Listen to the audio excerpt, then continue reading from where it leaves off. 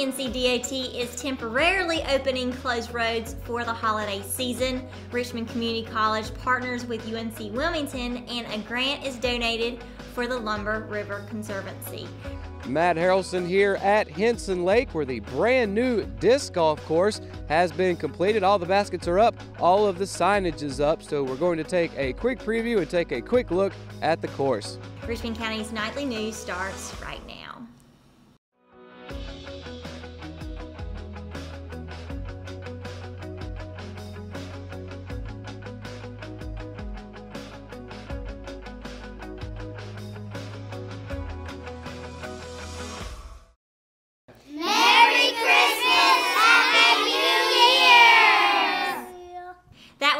LJ Bell Elementary first graders who stopped by the Richmond Observer on Friday. Live at 5 anchor Matt Harrelson and executive producer Russell Parker got to show and tell the kids how the RO and the nightly news show operates with its camera and green screen. Be sure to check out Live at 5 for the rest of the holiday season as they will be our honorary anchors to start the show. With a busy Christmas and New Year holiday travel week being predicted, the NC Department of Transportation is suspending most road and lane closures on interstates and routes across the state from December 21st on Friday to Wednesday, January 2nd. There will be some exceptions where construction conditions make it unsafe to open all lanes, such as where a bridge is being replaced or lanes are being constructed or rebuilt. To help make these trips safer and cut back on distracted driving, the NCDOT and Geico are teaming up to provide safe phone zones throughout the holiday and into 2019. While Geico sponsors the initiative, the NCDOT has designed all 58 rest areas across the state as safe phone zones to encourage drivers to take advantage of their use. These facilities are located along major highways, so accessing them is easy to allow drivers to get out of traffic and safely use their smartphones and tablets access information or to even send text messages.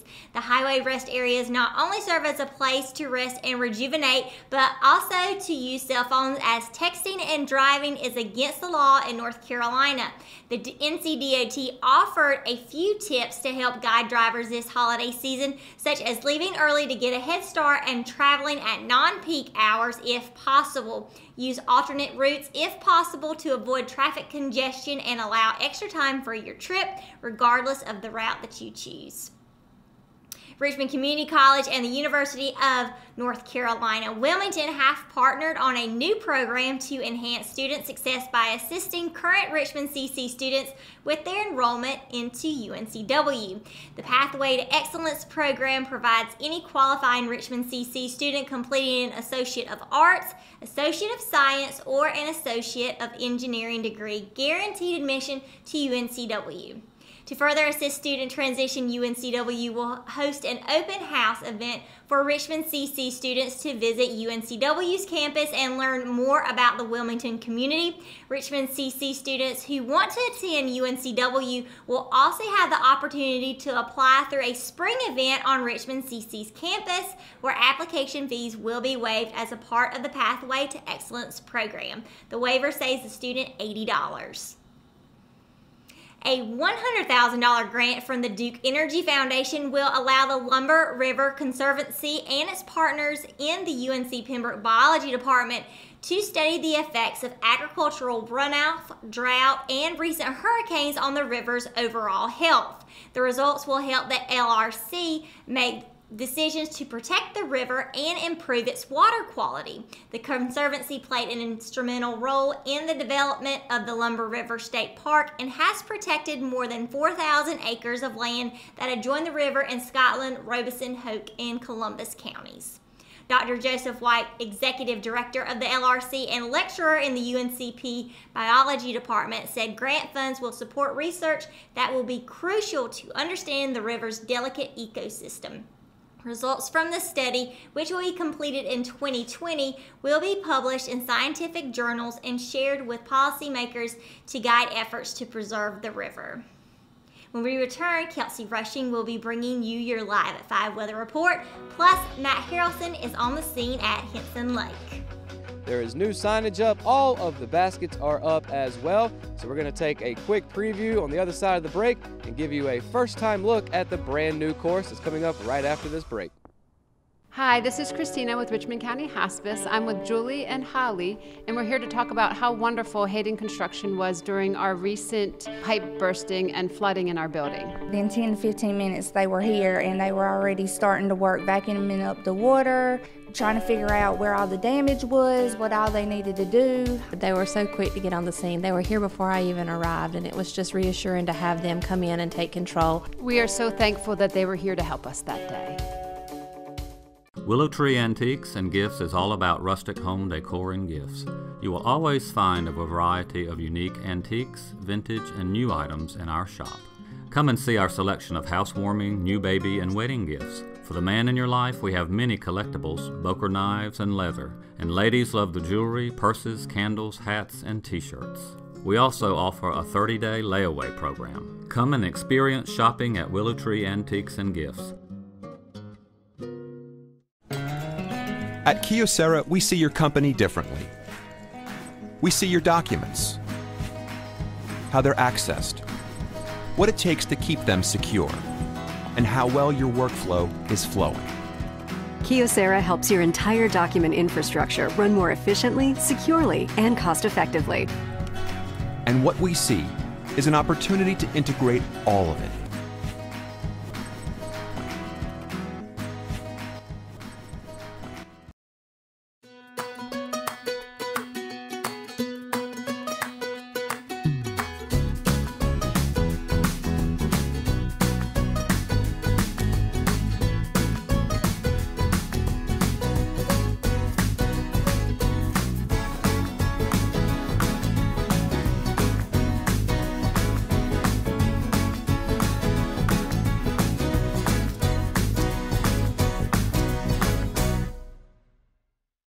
Today's live five weather report is brought to you by Exit Realty and going straight in for temperatures for tomorrow with Fayetteville. It's going to be at 62 with a low of 61, so it won't be getting too much colder on that day.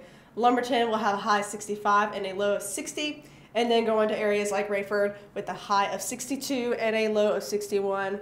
Then we have Laurinburg 63 with a low of 60, Bennettsville 64 with a low of 59, the only low so far within the 50s. And then we have Southern Pines, high of 62, low of 60. Ellerbe, high 63, low 60, and then Rockingham is actually going to have 62 and then a high 61, same as Fayetteville, so it's only going to drop up like one point. And then we have Wadesboro, which is the only other one that drops down to 50 that evening with a high of 60 and a low of 57. But as you can see, it's going to be raining a lot tomorrow. As I said, 100% chance of rain, high of 63, low of 59, and then of course Friday we'll have a 60% chance of rain with a high of 59 and a low of 42. So it's going to get a little bit colder starting Friday. And then Saturday will actually be sunny with a high of 53 but a low of 30. So if you're going to plan out going outside, any kind of outdoor activity that evening, dress up a little bit warm.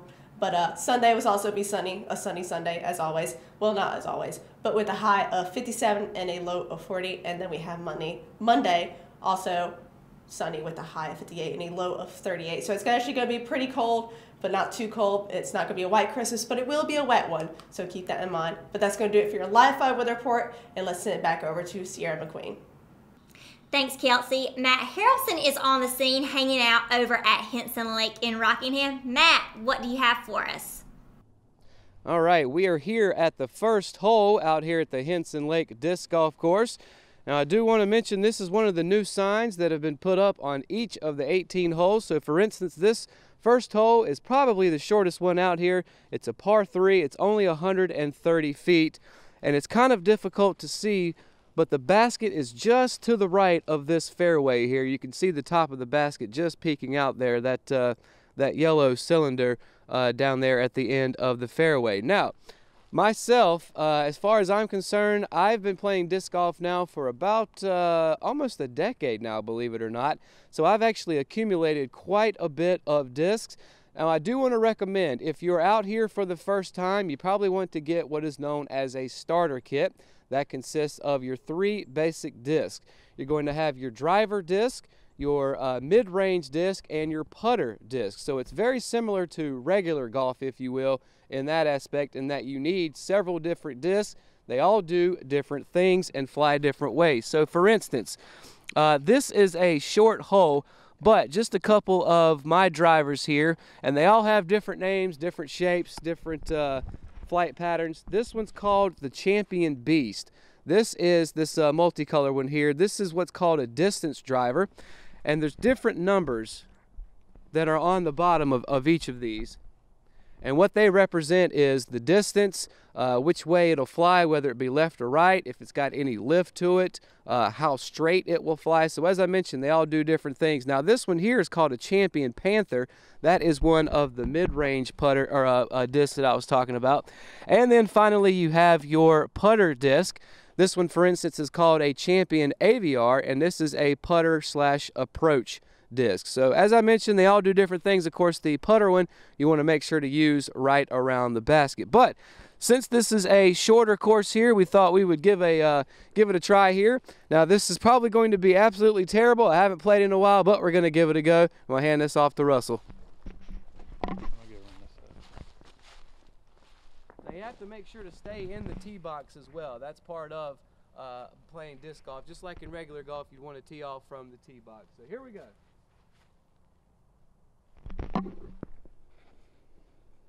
Woo. So that did not turn at all. Didn't do what I wanted it to do. I was hoping by throwing it overhand as opposed to backhand, which a lot of people do. I was hoping that that disc would actually curve back to the right. It did not do that, however. So at this point, this means that we would grab our disc and head down there and go find the disc that's down there. And then at that point, I would take one of these putters, although as far away as I am, I may need a mid-range in between there. But nonetheless, hopefully the, uh, the key is to get down there and get the disc in the basket with uh, at least three strokes. That would give you par. Obviously, if you got it in two strokes, that would be a birdie. One stroke over would be a bogey, just like in regular golf. So again, the uh, disc golf course here out at Henson Lake is brand new. It is open now. All of the baskets are up. As we uh, showed you earlier, all of the signage is up. So make sure to come out here. Uh, again, if you've never uh, enjoyed disc golf before, I guarantee you if you come out here and play it once, you'll be hooked. Uh, and also do want to mention David Stogner and the Richmond Young Professionals have done a wonderful job uh, along with the city of Rockingham in getting all of this set up. The city especially came out here, built the tee boxes, put the baskets in, uh, you know, helped clear a lot of the land, which is half of the battle when it comes to uh, brush like this.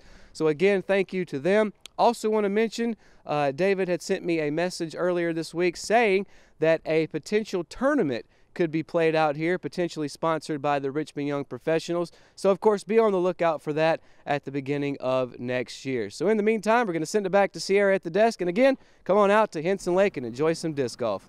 Thanks, Matt. I don't think that I'll be taking any disc golf lessons from you anytime soon, but it definitely looks like a lot of fun. I'll have to check it out sometime for myself, even though my hand-eye coordination is terrible. All right, folks, when we return, we've got your RO Sports update. It's coming up right after the break, so stay tuned. McNair Auto Sales is the place to buy your pre-owned car, truck, or van. To be the best, it takes big selection friendly staff, and great pricing. We guarantee a no hassle buying experience, and financing is available right on site. So come see us today. We're located at 1026 East Broad Avenue in Rockingham. And remember, with over 40 years of experience, you know McNair is the name you can trust. At Richmond County Hospice, we strive to provide high quality care to our patients and their families. Whether it's the incredible hospitality at the Haven House or from the comfort of your own home, you can count on hospice to be there for you. We also offer monthly grief support groups, and our chaplain will be there to hold your hand in prayer. Through our amazing staff and our volunteers, hospice has made difficult times easier for our community. Call the number on your screen if you feel that you or your loved one may benefit from our services. Richmond County Hospice peace, comfort, dignity. At Richmond Community College, we prepare you for a high skill, high paying career in a variety of fields. From business to education, engineering, utilities, healthcare, criminal justice, information technology, and human services. At Richmond Community College, we can save you thousands of dollars on tuition through our university transfer programs that provide a seamless transition to universities and colleges throughout North Carolina. At Richmond Community College, we are always developing new courses and programs in response to the communities we serve. We offer day, evening, and online courses, and you can now complete five curriculum programs entirely online. At Richmond Community College, we believe in helping you prepare for a better life.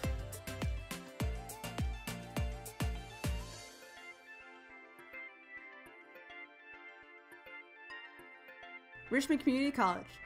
Local college, big impact. The Raider wrestling team has been hard at work on the mat over the past month since the 2018-2019 season officially started, but instead of wrestling area teams over the weekend, the Raiders took some time off and went on a field trip Sunday to NC State University to watch two of the nation's top wrestling programs battle it out. Head coach Earl Nicholson returned to his old stomping grounds with the high school team, as well as several members of this year's inaugural middle school wrestling team. Nicholson called the day an educational and entertainment trip as the high schoolers and middle schoolers preceded the wrestling contest between the number 7 Wolfpack and number 11 Nebraska Cornhuskers by taking a mini tour around campus. The Raider wrestling teams got the chance to meet some of the collegiate wrestlers while also inking autographs. The next time the Raiders hit the mat will be this Friday and Saturday at Mallard Creek High School. Over 25 teams will be competing in the EB Memorial Clash at the Creek Tournament just ahead of the holiday season. The middle school team will not be in action again until after the break, as the team will travel to West Hoke Middle School on January 9th for its fourth meet of the season. And now for your middle school sports report, starting with the Ellerbe Middle School boys and girls basketball teams who made the trek to East Hoke Middle School on Monday, but both came up short to the Eagles. The Lady Wildcats opened their season last Thursday with an impressive win over Carver Middle School, but the Lady Eagles proved to be too much as Ellerbe fell in a closely contested ball game, 34 to 30. In the boys game, the Wildcats had a hard time containing the Eagles as Tommy Sheldon's team lost by a final score of 48 to 26. Rockingham's basketball teams were also in action for the second time this season, this time on the road at Carver. The Lady Rockets had no problem with the Lady Eagles as the girls' teams improved 2 0 on the year with a 48 34 victory. The boys' game was much closer as the Rockets overcame a 17 12 halftime deficit before falling to the Eagles in overtime 43 to 39. The next time Ellerbe and Rockingham will be in action is January the 7th as both schools' boys and girls teams will tip off at the Rockets home court. The girls game is scheduled for 4 p.m. followed by the boys at 5. And that's going to do it for another edition of Live at 5. Be sure to download the RO app for your mobile device and for all the latest news in Richmond County, visit richmondobserver.com. Be sure to tune in to Good Morning Sandhills every weekday morning from 6.30 to 8.30 a.m. For Kelsey Rushing, Matt Harrelson, and the rest of the Live at 5 crew, I'm Sierra McQueen. Good night, Richmond County.